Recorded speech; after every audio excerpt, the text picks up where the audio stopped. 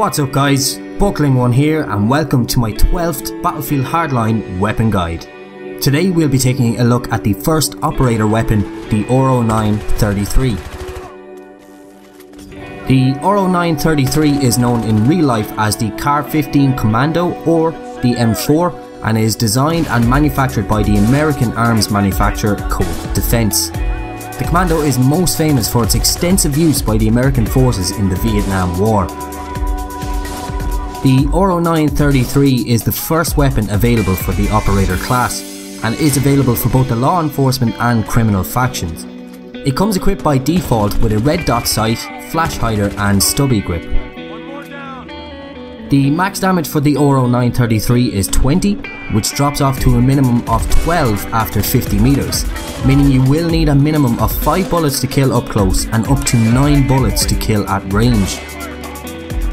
Rate of fire is one of the highest in its class, coming in at 850 rounds per minute, which is a key strength for the carbine.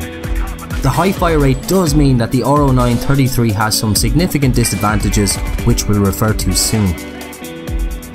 Reloading the R0933 takes 2.3 seconds with a bullet left in the chamber, and when the magazine is empty it will take 2.7 seconds for a full reload. These are among the lowest reload times in the carbine class. Recoil is the Achilles heel of the R0933. It will drift hard up and to the right and I feel that it can be hard to control even when tap firing. The recoil up value is 0.32 and the recoil right value is 0.3. Pair this with a first shot multiplier of 2.8 and you can begin to understand why this weapon is so hard to control. Personally, I had a very hard time trying to get some decent footage while using the R0933 and I was very nearly not going to make this video because of it.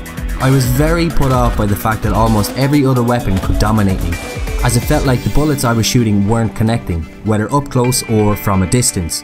Strangely, I started to have a much better time with the R0933 when I took the red dot sight off and just left the iron sight on the weapon. I'm not sure if this is a bug or not, but it did seem very odd to me. I also switched up the stubby grip to an angle foregrip which seemed to help as well. Overall, I don't really rate the R0933, so I give it a 2 star rating.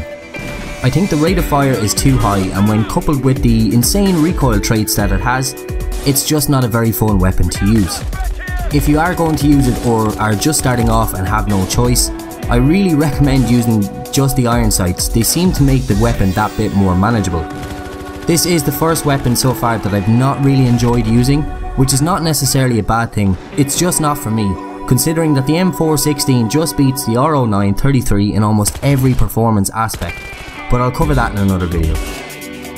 What do you guys think of the R0933? Have you used it so far and have you liked it or do you think it's not that great? Let me know in the comment section below. Also, make sure to leave a like if you enjoyed this video and make sure you subscribe by clicking the button on screen now to see my future weapon guide videos, which I will add to a playlist as well to make it easier to watch, links also on screen now and in the description. This has been Buckling One, thanks so much for watching guys, I'll see you in my next video.